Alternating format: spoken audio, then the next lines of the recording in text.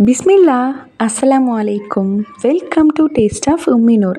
இன்றைக்கி நம்ம கிச்சனில் ரொம்பவே ஸ்பெஷலான ஒரு ரெசிபி தான் பார்க்க போகிறோம் கறி குழம்பு டேஸ்ட்டில் கனவா கறி தான் நம்ம பார்க்க போகிறோம் ரொம்ப ரொம்ப டேஸ்டியாக இருக்கும். இது வரைக்கும் நீங்கள் செஞ்சு பார்க்காத ஒரு புதுமையான ரெசிபி. அம்மாவோட ஸ்பெஷல் ஸ்டைலில் எப்படி பண்ணுறதுன்னு பார்க்கலாம். கடாயில் தேவையான அளவு ஆயில் சேர்த்துக்கோங்க. ஒரு ரெண்டுலேருந்து மூணு வெங்காயம் நல்லா ஸ்லைஸாக கட் பண்ணி சேர்த்துக்கலாம். வெங்காயம் நல்லா வதங்கி வர வரைக்கும் நல்லா மிக்ஸ் பண்ணி விட்டுக்கோங்க.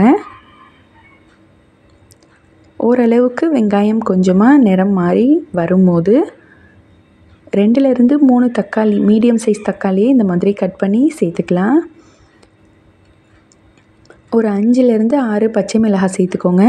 ஒரு கையளவு மல்லி இலைகள் சேர்த்துக்கலாம். சேர்த்துட்டு எல்லாத்தையுமே நல்லா மிக்ஸ் பண்ணி விட்டுக்கலாம். ஓரளவுக்கு வதங்கி வந்ததுக்கப்புறமா ஒரு ரெண்டு டேபிள் ஸ்பூன் அளவுக்கு இஞ்சி பூண்டு பேஸ்ட்டு சேர்த்துக்கோங்க. ரெண்டு டீஸ்பூன் மஞ்சள் தூள் சேர்த்துக்கலாம். ஒரு டேபிள் ஸ்பூன் மிளகாய் தூள்.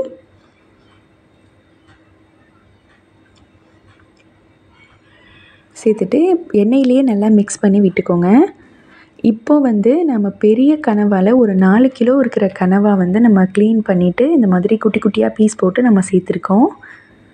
எந்த கனவாக எடுத்தாலுமே இதே டேஸ்ட்டில் செஞ்சு பாருங்கள் கறி குழம்பு டேஸ்ட்டில் அவ்வளோ சுவையாக இருக்கும். இப்போ ஒரு ஹாஃப் டேபிள் ஸ்பூன் அளவுக்கு சால்ட்டு சேர்த்துக்கலாம். நல்லா பெரிய சைஸ் கனவாக நீங்கள் தமிழ்நெல்லில் பார்த்துட்டு தான் வந்திருப்பீங்க.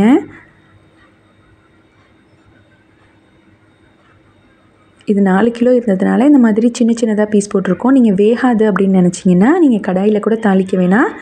டேரெக்டாக இதே மெத்தடில் குக்கரில் சேர்த்துக்கோங்க. இப்போது half tablespoon black pepper powder சேர்த்துக்கலாம். கருமிளகு. அதுக்கப்புறம் ரெண்டு டீஸ்பூன் அளவுக்கு சோம்பு பவுடர் பெருஞ்சீரகம் தூள் சேர்த்துக்கோங்க.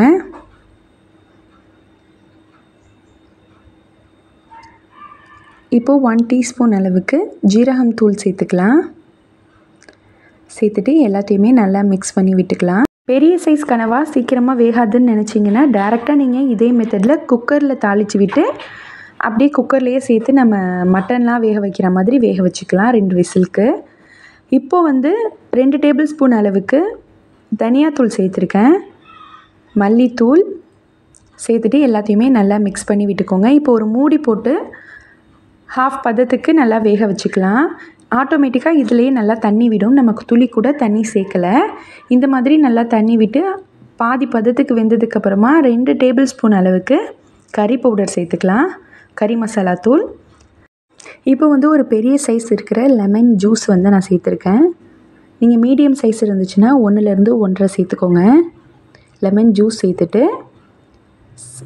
ஒரு ஒன்றரை கப் அளவுக்கு இருக்கிற மாதிரி தேங்காய் கெட்டியான தேங்காய் பால் சேர்த்துக்கலாம்.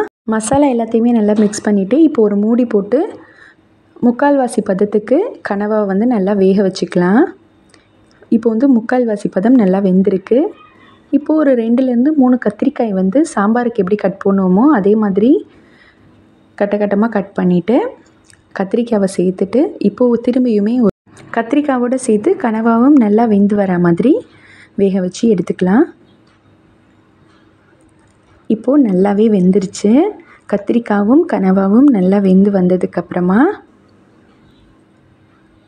ஒன்றரை டீஸ்பூன் அளவுக்கு இப்போ தான் நம்ம வந்து கரம் மசாலா தூள் சேர்க்கணும். இதுக்கு முன்னாடி நம்ம எல்லா மசாலாவும் சேர்த்தோம் ஆனால் கரம் மசாலா சேர்க்கலை. இந்த டைமில் நீங்கள் கரம் மசாலா சேர்க்கும் போது நல்லா வாசனையாக இருக்கும். கறி குழம்பு டேஸ்ட்டில் இருக்கும். கண்டிப்பாக நீங்கள் இந்த வீடியோவை ஃபுல்லாக பாருங்கள் இதே மாதிரி செஞ்சு பாருங்கள் அவ்வளோ ருசியாக இருக்கும். இப்போ வந்து வீட்லேயே வறுத்து அரைச்ச கரம் மசாலா தூள் ஒன்றரை டீஸ்பூன் சேர்த்துக்கிறேன். சேர்த்ததுக்கப்புறமா இப்போது நம்மளோட ஹீரோ சேர்க்க போகிறோம் சரியாக ஹாஃப் கப் அளவுக்கு அரிசி இருக்கு இல்லையா அதை நல்லா வறுத்து அரைச்சதுக்கப்புறம் ஒரு தூள் மாதிரி நமக்கு கிடைக்கும். பொரியரிசி தூள்னு சொல்லுவாங்க. அந்த பொரியரிசி தூள் வந்து ஒரு நாலு டேபிள் ஸ்பூன் அளவுக்கு சேர்த்துக்கோங்க. இது சேர்த்ததுக்கப்புறம் அவ்வளோ டேஸ்டியாக நல்லா கெட்டியாக இருக்கும். கறி குழம்புலாம் தோற்றுரும் அந்த அளவுக்கு டேஸ்ட்டாக இருக்கும். இப்போது டேஸ்ட் செக் பண்ணதுக்கப்புறமா லைட்டாக அந்த குழம்பு வந்து லைட்டாக ஒரு கெட்டியாக வரும். அந்த டைமில் ஸ்டவ் ஆஃப் பண்ணிடுங்க பொரியரிசி தூள் சேர்த்ததுக்கப்புறமா சரியாக ஒரு ரெண்டு நிமிஷம் மட்டும் ஸ்டவ் ஆஃப் பண் ஆன் பண்ணிவிட்டு ஆஃப் பண்ணிடுங்க இப்போது நான் ஸ்டவ் ஆஃப் பண்ணிட்டேன். ஒரு ரம்ப இலையை கட்டி சேர்த்துட்டு அதுக்கப்புறமா ஒரு கையளவு கறி லீஃப் சேர்த்துட்டு மூடி போட்டுடலாம் இந்த குழம்போட வாசனை நம்ம வீடு முழுக்க பரவி ஒரு சூப்பரான அரோமா கொடுக்கும். எனக்கு வந்து கறி குழம்பு சிக்கன் குழம்பு விட சீ ஃபுட் வந்து ரொம்பவே விருப்பம். என்ன மாதிரி நீங்களுமே சீ ஃபுட் பிரியர்களாக இருந்தீங்க? உங்களோட ரிலேட்டிவ்ஸ் ஃபேமிலி மெம்பர்ஸ் அப்புறம் ஃப்ரெண்ட்ஸ் சைடில் சீ ஃபுட் பிரியர்கள் யாராச்சும் இருந்தாங்கன்னா அவங்களுக்கும் நம்மளோட ரெசிபியை ஷேர் பண்ணி அவங்களையும் ருசியாக சாப்பிட வைங்க. இந்த ரெசிபி உங்களுக்கு பிடிச்சிருந்தா மறக்காமல் நம்ம சேனலை சப்ஸ்கிரைப் பண்ணி இந்த வீடியோக்கும் லைக் பண்ணிக்கோங்க. இதே மாதிரி நிறைய ரெசிபி வீடியோ நம்ம வீடியோ நம்ம சேனலில் அப்லோட் ஆக இருக்குது அதையும் தொடர்ந்து பார்க்கலாம். இன்ஷால்லா. தேங்க்ஸ் ஃபார் வாட்சிங்